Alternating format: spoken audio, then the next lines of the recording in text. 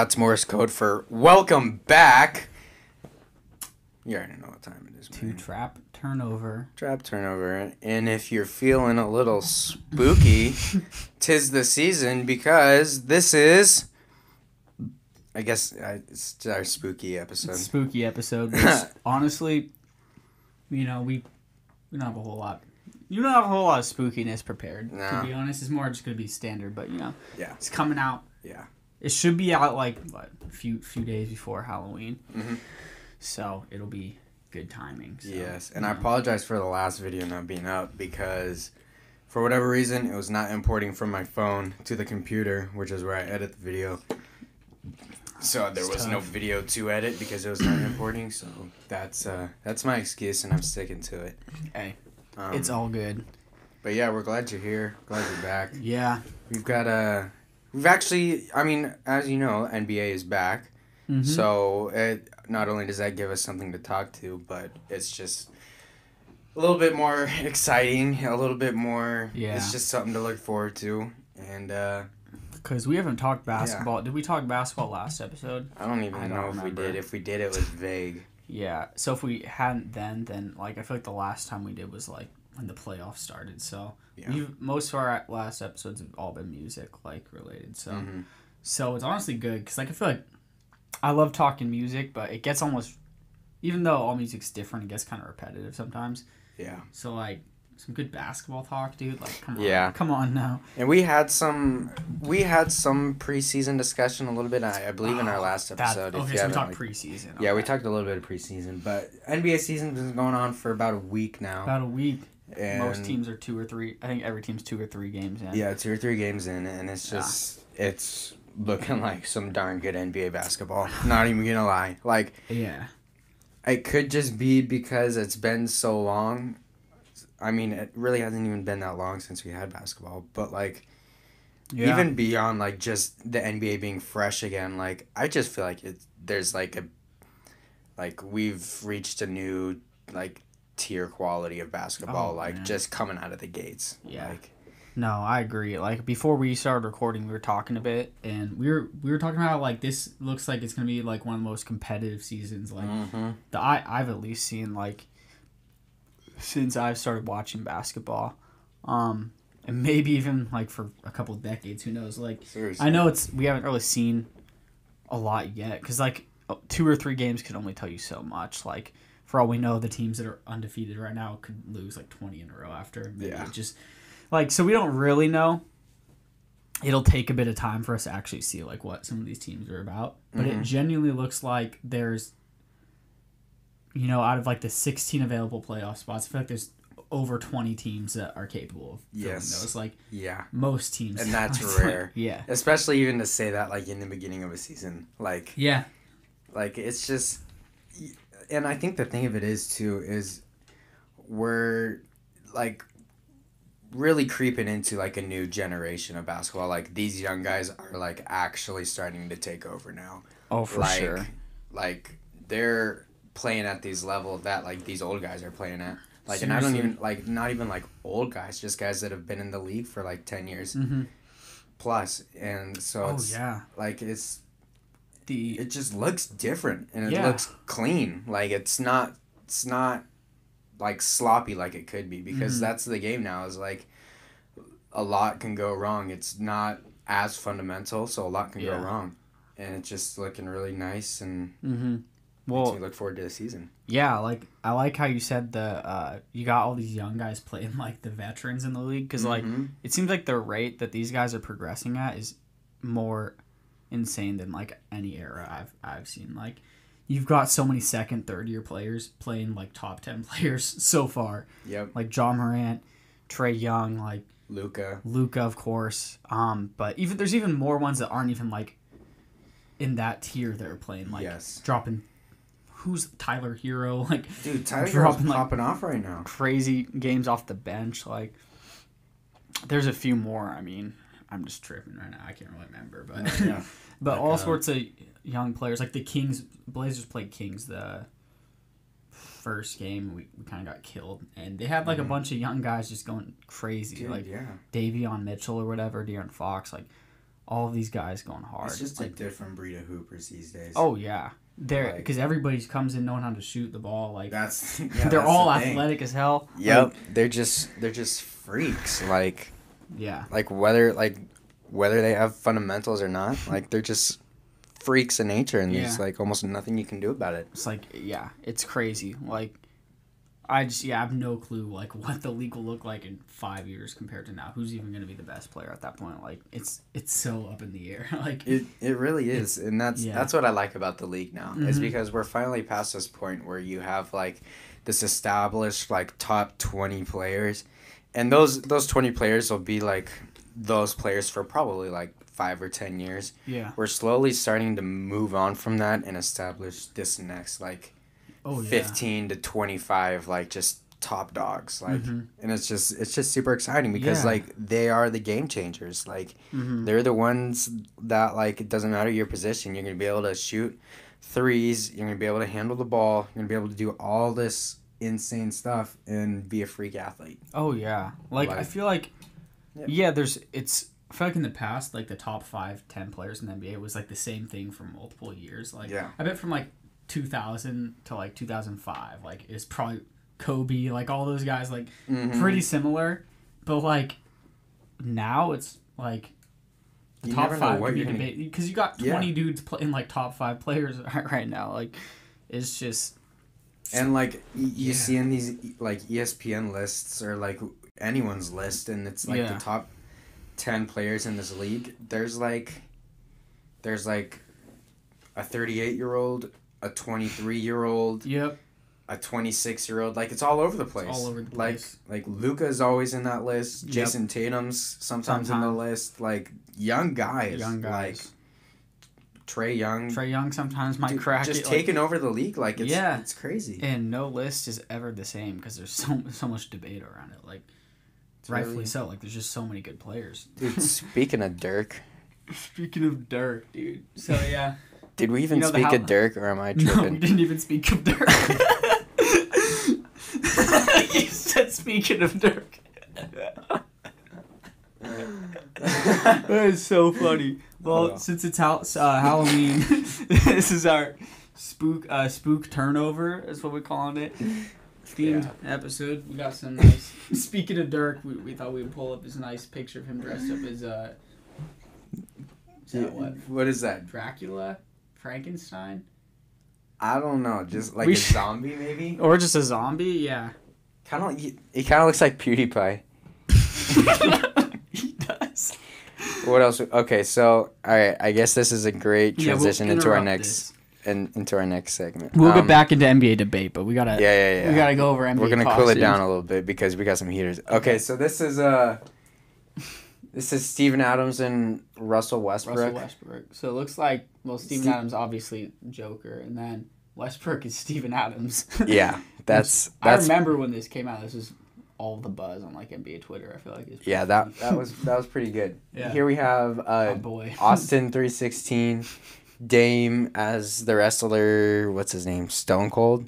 yeah, Stone Cold. Yeah, that's pretty James guy. Pretty pretty pretty classic. iconic. And then Nurk, I believe, on the same day because I don't know what. it looks like they're in the same exact Oh yeah, place. I bet it was the same day. That's just bad, dude. I don't know what that is. Looks like maybe It's just like a- some sort of. What do you think? No, that that's is? the Beauty and the Beast guy. Oh. That's the Beast. Oh, I was okay. That makes a lot of sense. I was gonna guess like where's Nurkic from Bosnia. I was gonna think it's like Some Bosnian folk, like yeah, like a, like a Bosnian like werewolf, like some Halloween the- terror animal, called like the the Like, uh, it's gonna like like the Sasquatch, of, Yeah, like, like the Bos- Bosnian Sasquatch, it's like the boogeyman. Like your kids better behave, or the what's like a bot like the the the Nurkic will come get you. Like Belsnickel.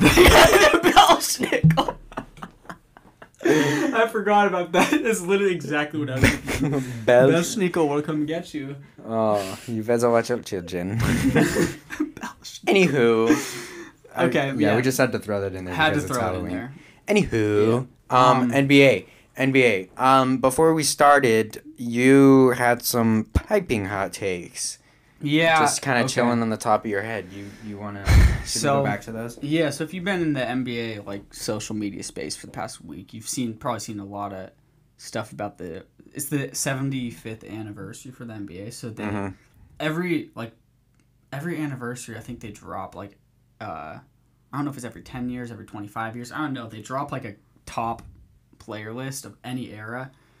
Um, so this year was seven, a top 75 list. It was in no order. It's just 75 players who released by the NBA too, like who are the quote unquote best 75 players of all time, right? Mm-hmm.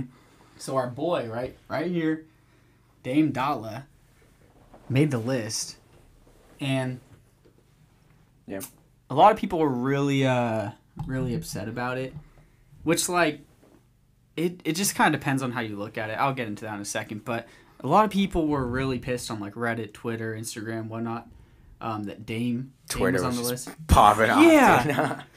yeah, it was wild, right? And I get a lot of these people were probably mostly upset because uh, there were other people who deserved to be on the list um, that didn't make it, and they kind of all seem to target Damian as like their scapegoat. yes. Um, which that's what didn't make sense to me. Like I agree, like people were pissed about Dwight Howard was one. Um, Some Warriors fans are mad, like Klay Thompson and Draymond.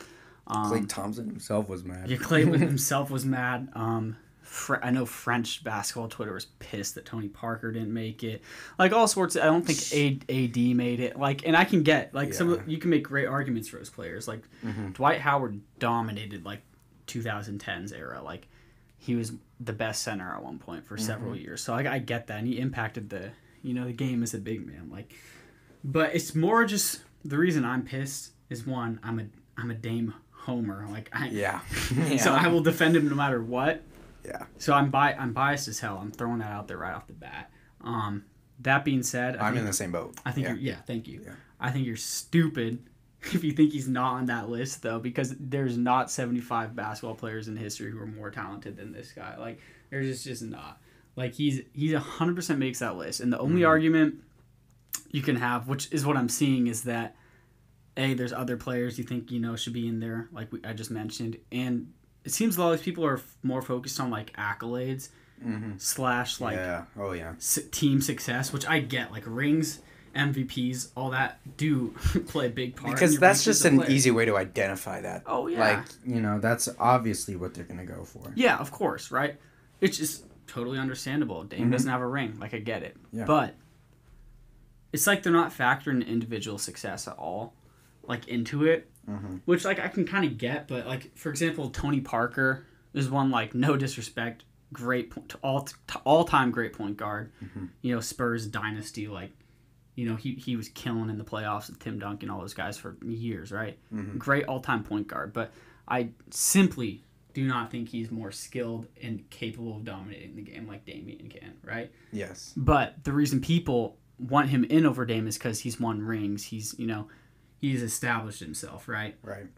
But that's more of a team based thing, right? So I, when I'm thinking of this list, I'm thinking more individual success and like ability of the player. Because that's the whole point of the list. Yeah, Like to like- take them outside of the team. Yeah, that's what I think. So, of course, there's debate around it, but I just don't get why people are pissed about him being there Mm-hmm. when you got guys like Ray Allen, which, no Yeah. disrespect, let me explain. Well, actually, I don't even really need to. You probably know. Like, he was never a number one option. He was never like a that. He was never a top ten player in the league or like a. He's just a one of the best shooters of all before Curry, the best shooter of all time, and an excellent like he was a star, hundred percent a star, right? Yeah. but like I think and one of the greatest sh- you know shooters ever but he's not going to go out and drop 30 points per game and lead a team to the playoffs you know and make his whole team better. That's like a LeBron type. It's like the S tier level of players. Like he was Yeah, just simply yeah. a star player who played with other star players and won rings right? Which is great. And I do mm-hmm. think he yeah I, honestly Ray Allen deserving of like top 75 but if you're going to be mad that Dame's on it then you should be mad that someone like him is on it. Exactly. like that might not be the best example, but you know what I'm saying. Like Ray Allen's not gonna be the number one option on a team ever and, Mm-hmm. and carry them to the playoffs. Like that's something Damian does. It's something LeBron does. It's like you know those type of players. Yes. It's yeah, it's just wild to me. And then there's so many like old players too, like from the '60s, '70s, Mm-hmm. Yeah. '80s. That's kind of a hard And- call. it's a hard call because look, if you're the NBA, you have to do it, right? You're gonna get so much slander from old heads on Twitter, being like, "Where's Where's Wilt? Where's Bill Russell? Yeah. like back in my day, you you didn't even. you never Where's Elgin Baylor? You ever seen a hook shot? yeah, no. Elgin Baylor, like, yeah. Look, man. All due respect to the the old era, right? Yeah. It paved paved the path for today, but the level of talent and athleticism was simply not there compared to today. It was still Mm-hmm. there. There are still players there that I think would pl- be able to play in this league, right? But their stats were so inflated, dude. Dude, Like, yeah. dude, nobody's gonna average 25 rebounds a game in this era. Nobody's gonna average, you know, over 50 points. Like, it's just that's just not how it works today, right? Yeah. No, I was looking at Wilt's. Yeah. One of Wilt's seasons, like ours, it was like his best season, like with the one when he scored hundred points. Yeah, And I was just looking at it, and he averaged like a like a like 35 40 points Yeah. something like that Mhm. like 25 rebounds it's crazy. like it- just 2k numbers like he was just playing 2k out career, there dude. On on pro difficulty. Actually, no, rookie on rookie Yeah. difficulty dude like Literally, like it. Look, there's kind of a meme that like Wilt was playing against like plumbers and like a lot of people say that plumbers and like mailmen, like people the who like milkmen. milkmen, like part time, like people who got other jobs straight up league. bartenders Yeah, like bartenders. And look, no, like that is it's a funny meme and you know, the talent was definitely Mhm. not as good. But like no, he was still playing against like I remember hearing like the average height in the sixties was still like six seven or six six. Like yeah they're still tall, but yeah the skill just wasn't there as much because basketball wasn't as established and like you- No. people didn't have the like modern medicine even today like with dealing with injuries like Yeah. support basketball shoes all that stuff compared with like Mhm. the amount of trainers amount of ways you can have access to getting better at the game Yeah. like it's just different today. And I also think the big thing is too is you did not need to be like versatile. Like you could have had one thing. Like you Mhm. could have made it in in the sixties, seventies. You could have made it into the league with just being able, like being six ten Six- and being yeah. able to rebound. Literally, Like that it, would get yeah. you, but that would hardly get you into college ball these days. Like Yeah. if you can't rebound, uh, and shoot threes and handle the ball, like Yeah. forget about it. yeah Like forget about it forget about it. You ought to be smoking Dons. You think you're getting in there? dude no uh 100% right dude. The talent is just at a higher level. So i get why they put in old players right? Yeah. like you got to show them You respect. to, you yeah. have to put it on the list. Yeah, but res- okay. respectfully i think a lot of those players some of them are so good today but some of them are just role players today. That's a spicy take and maybe some people no it's not even that spicy of a take. There might be some old heads who might be pissed and i'm not gonna not disrespecting like you know the greats like but Mhm.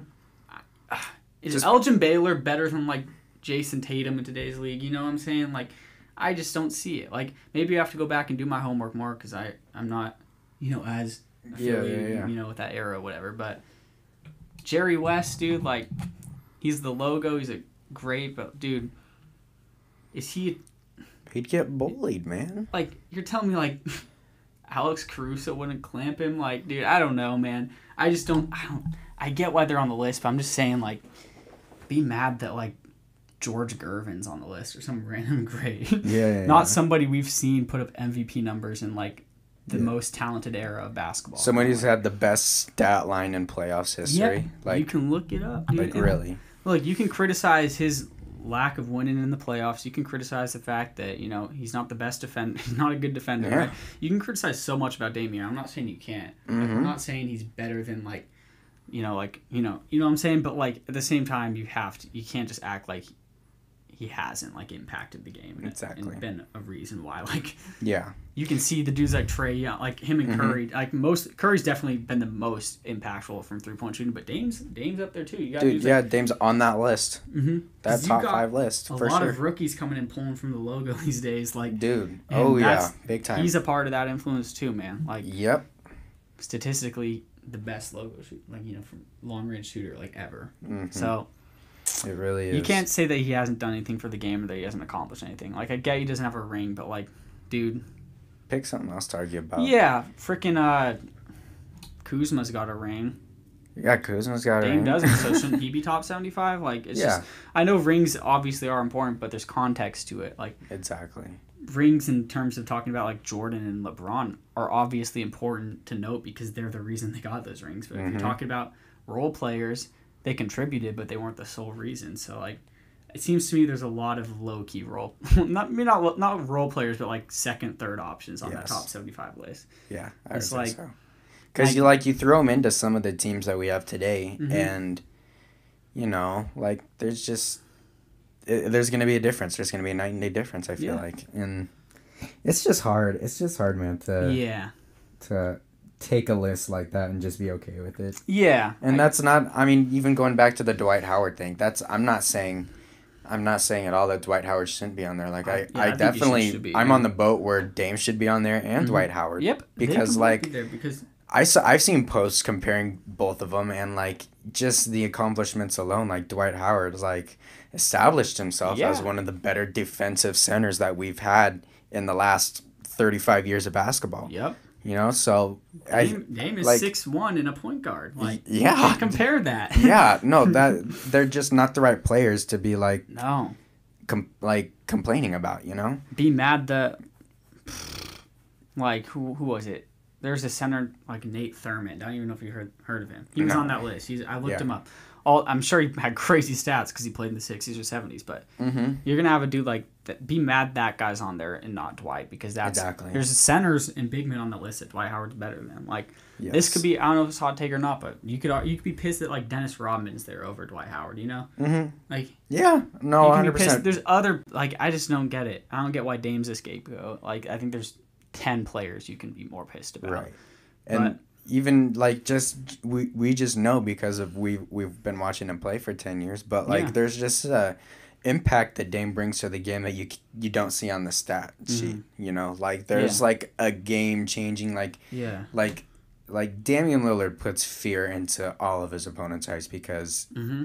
not only is he unpredictable, but like he'll give anyone 35. Yeah. If anybody. He, if if he has an on night, even if he has a decent night, he's gonna give you 26. Yeah.